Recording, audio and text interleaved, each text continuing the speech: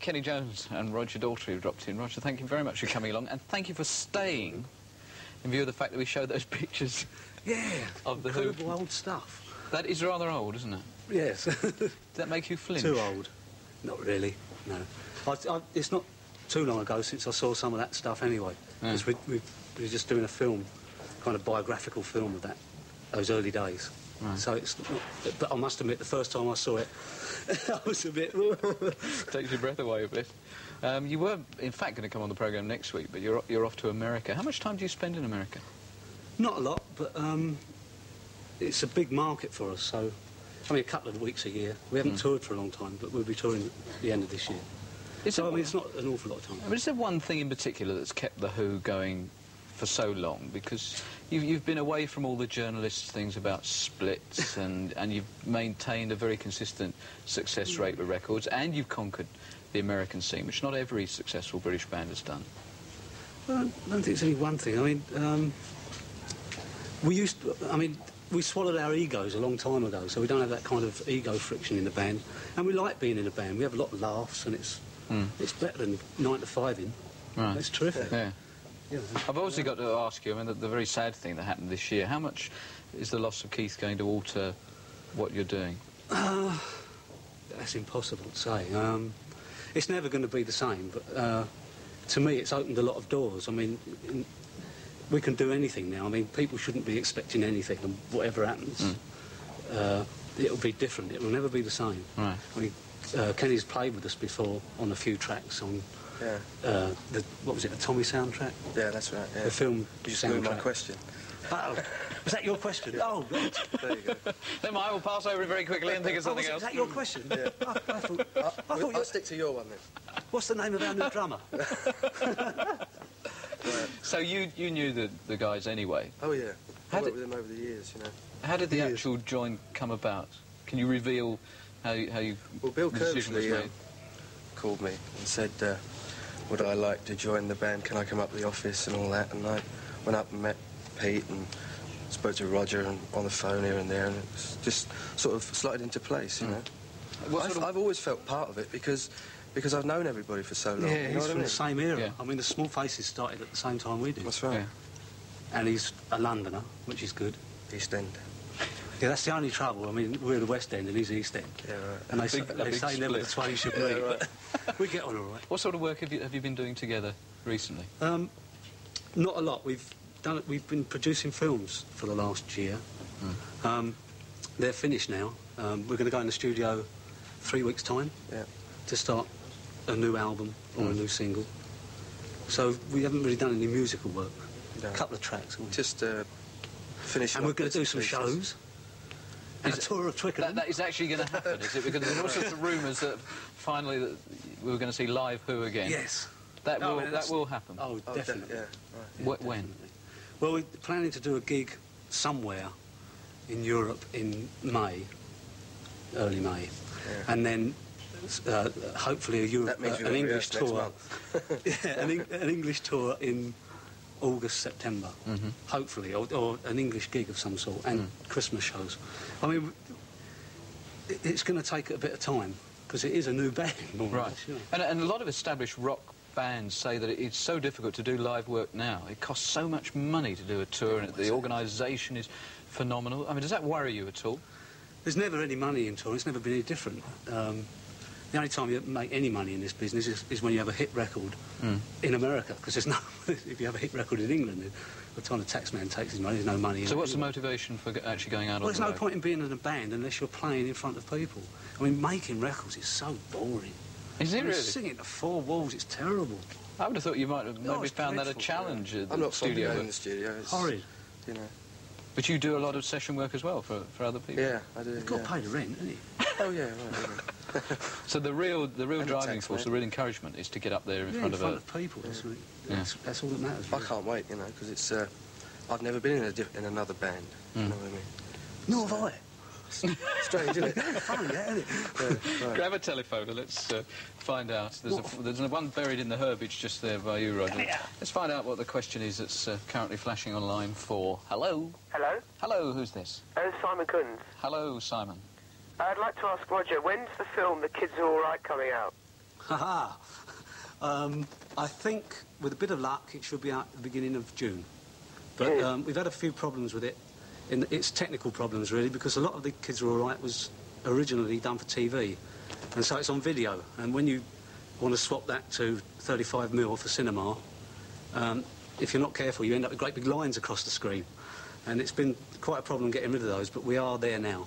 So it should be out in June with a bit of luck. Right. Thanks And a it's lot. quite a good film, I think. I haven't seen it myself, but I've- I've been told it's quite good. Thank you, Simon. okay, Simon. Line six.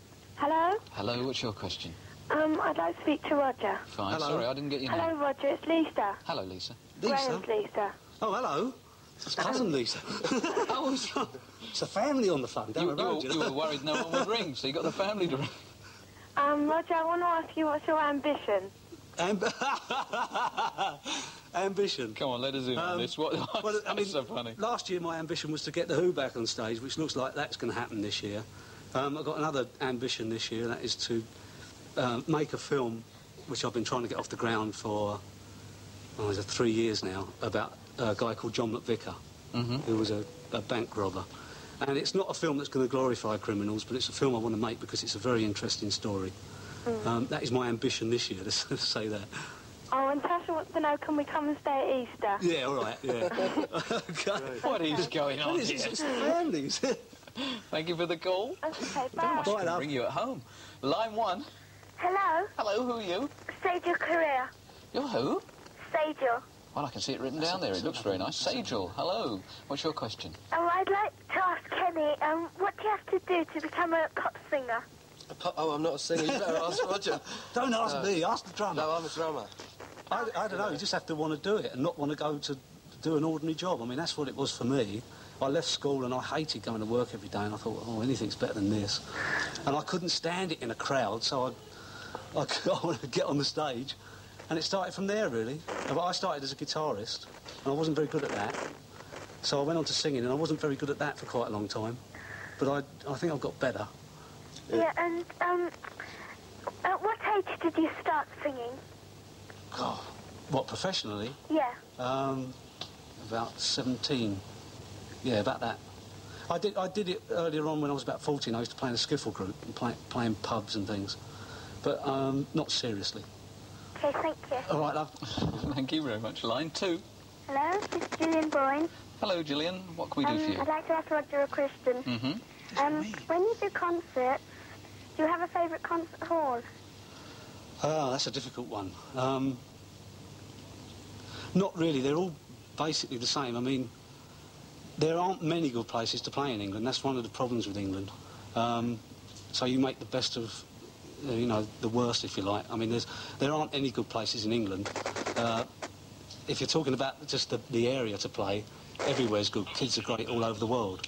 But as far as halls go, there aren't anywhere. There isn't anywhere really good in England. Oh, oh, thank you. All right, love. Right, thank you. Bye. Thank you very much. By the way, one of the things you talked about when you came on the programme last time, Kenny, was your, your leaping about on horses and things. How's that going? Oh, yeah, can I put that down? Eh? Yes, you can. I don't know why I was holding on. to oh, it. Yeah, right, yeah, I was watching you. Yeah, we'll, we'll go back to the phones. and I see, hate the because phone. last time you, ca- the reason I asked that, last time you came on the programme, we had a lot of correspondence from people saying where could they actually see you leaping about on a horse. Well, I do it every year, you know, the Royal International Show Jumping at mm. Olympia. Uh, this year, I came second. But you should have won. I should have won, yeah. I knocked the, the upright pole down. Giggling over there. Why, why is the giggling from Maggie Well, over there? She was on it as well. She's going to win. She was on the horse you. with you? Oh, not with me, no. Would have been more fun. That's right, yeah. And you, you don't actually go riding, but you do have four-legged animals in fast Yeah, I mean, horses, don't you? horses to me uh, take too much looking after. I like cows that look after themselves. you know. She got a big place down in Sussex. I've got a farm, yeah, I like farming. Uh, But it is a very beautiful place. I mean, you're calling it a farm, but I... no, it is a farm. It's a working farm. It has to be. Yeah. And that's where you live, and presumably you have Yes, a manager yes. or somebody. I, I've got a farm manager, yeah. Uh, I have to, really, Right. because I'm away so much. Do you eat what you grow? Yes. We've just eaten Harry. I think it was a bit tough. I kept him. For I believe in that. I think, if, I think if you love what you, I mean, if you literally love what you eat and then eat it, Yeah. What you're going to eat and then eat it. Yeah, I uh, bet Harry wasn't that Chinese- pleased about the idea, though, was he? I don't know. It's the reason they're there, isn't it? If, if I mean, Yeah. if we didn't eat meat, they wouldn't be there. Right. you know, Full stop. well, you're quite... Let's take an awful step when you actually call them by a name. I better say hello to my... Can I say hello to my daughters? Certainly, yes. Hello, Rosie and Willow. What, that one? They're watching at home. I promise Oh, I'll I say bet, hello. oh, now you've done they're- that, you put me in it. I'll have Right, to do the you same then. do Yeah, same. go on. Hello, Dylan and Jesse.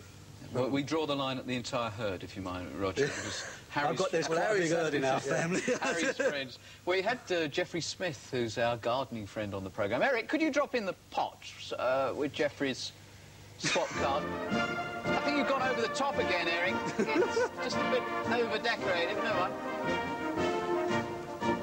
The Geoffrey asked the question, what does sport mean in gardening terms? It's plastic. Thank you! Yes, Jeff, Geoffrey's bound to be watching. He's going to be sick about this. We've got plastic flowers. Eric, you could have just got some real ones. Uh, who's going to have the delve? Pull a card out. you do it, you do it. No, I don't want to. I don't want to do it. I can do it any time. We want a correct one out of there, and there's a... Oh.